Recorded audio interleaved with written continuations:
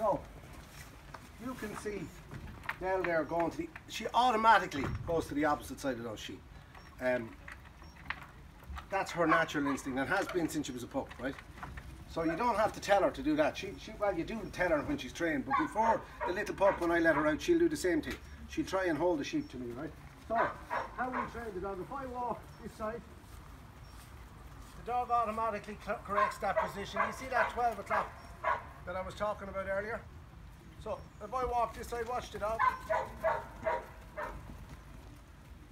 So the dog is holding the sheep to me roughly at 12 o'clock. If I walk this side, the same idea, right? So that enables us to put left and right on the dog, right? So away to me. Away to me. Away to me is to the right, okay?